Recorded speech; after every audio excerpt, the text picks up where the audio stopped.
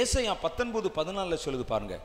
So சோவான் பிரபுக்கள் மூடரானார்கள். யாரு? சோவானுடைய பிரபுக்கள். சோவான் என்பது ஒரு தேசம். எகிப்தில் இருக்குது ஒரு தேசம். அதனுடைய பிரபுக்கள் மூடர் ஆனார்கள் ஏசையா பத்தொன்பது பதினாலு. இந்த தோப்பின் பிரபுக்கள் மோசம் போனார்கள். எகிப்தையும் அதன் கோத்திர தலைவரையும் வழி தப்ப பண்ணுகிறார்கள்.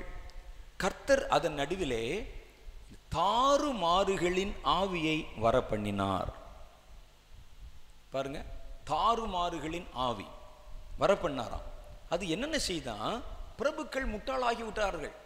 அவர்கள் மூடரானார்கள் பிரபுக்கள். சாதாரண மக்கள் பிரபுக்கள் மூடரானார்கள். தோப்பின் பிரபுக்கள் மோசம் போய்விட்டார்கள்.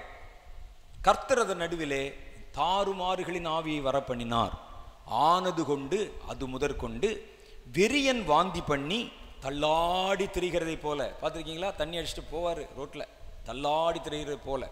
போஸ்ட் கம்பியை பார்த்து பேசிட்டு நாளைக்கு வரும்போது இங்கே நிற்கக்கூடாது அவ்வளோதான் சரிச்சிருவேன். அப்படின்போது அதோட போய் சாஞ்சு நிற்பான் சண்டை போடுவான். பாஸ்டர் ஒரு ஒரு வீடியோ தொகுப்பு வச்சிருக்கிறாரு. டாஸ்மாக் குடிமகன்கள் என்னென்னலாம் செய்கிறாங்கன்னு பார்த்தீங்கன்னா நீங்கள் சிரிச்சிருவீங்க.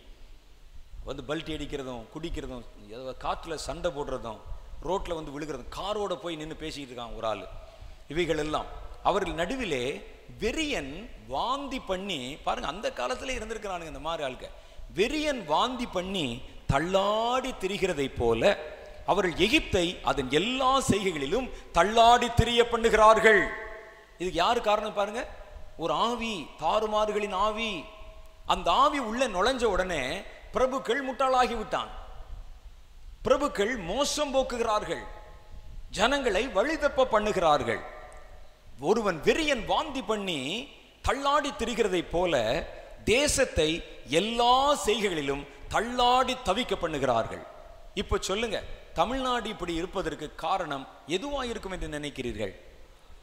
ஏதோ ஒரு ஆவி தள்ளாடி திரிய பண்ணுகிற ஆவி தடுமாற பண்ணுகிற ஆவி இந்தியாவை பிடித்து கொண்டிருக்கிற பொல்லாத ஆவி.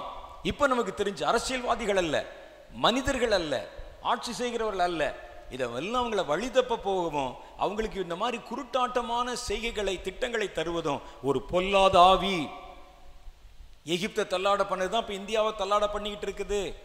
தமிழ்நாட்டை தள்ளாட பண்ணுது. கர்நாடகாவை தள்ளாட பண்ணுகிறது. இதெல்லாம் நம்ம வந்து பார்த்து இந்த ஆவிகளை துரத்தும்படிக்கு நம் கண்கள் திறக்கப்பட வேண்டும். அதுதான் கர்த்தர் சொல்றார்.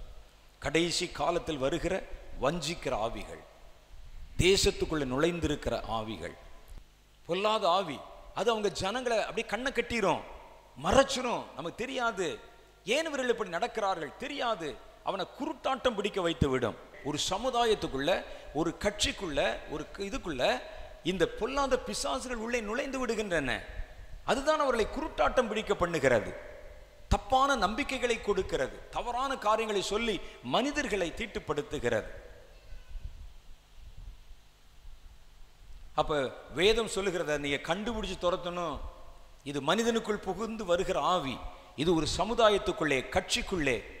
இது ஒரு ஒரு கூட்டத்துக்குள்ள ஒரு ஒரு நகரத்துக்குள்ள ஒரு தேசத்துக்குள்ள நுழைய நுழையக்கூடிய வகையுள்ள ஆவி கண்டுபிடிக்கணும்.